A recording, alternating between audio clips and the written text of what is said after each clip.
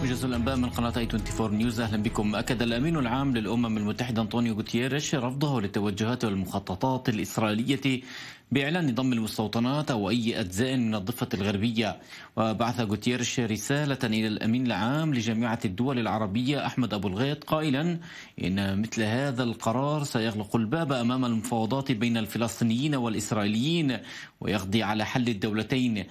جاءت رسالة غوتيرش ردا على رسالة أبو الغيط قبل أيام التي حذر فيها من خطورة التوجهات الإسرائيلية. قال الرئيس الإيراني حسن روحاني خلال مكالمة هاتفية مع أمير قطر الشيخ تميم بن حمد آل الثاني إن بلاده تراقب عن كثب الأنشطة الأمريكية لكنها لن تكون البادئة أبدا لصراع في المنطقة. وذكرت وسائل إعلام رسمية إيرانية أن تصريحات روحاني تتزامن مع تصاعد التوتر بين واشنطن وطهران.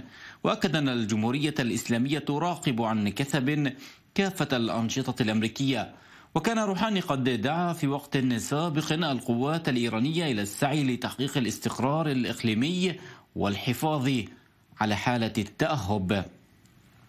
أفاد مصدر عسكري يمني عن مقتل وجرح أعداد كبيرة في صفوف قوات الرئيس عبد رب منصور هادي خلال استعادة الجيش واللجان السيطرة مجددا على على معسكر اللبنات والتلال المحيطة به عند الأطراف الجنوبية الشرقية لمديرية الحزم شرقي اليمن.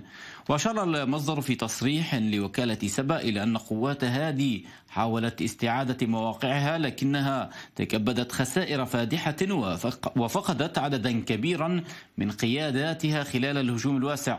وشنت طائرات التحالف السعودي فجر اليوم ست غارات على منطقة الخنجر في مديرية خب والشعف الحدودية مع نجران السعودية. لإسناد قوات هادي.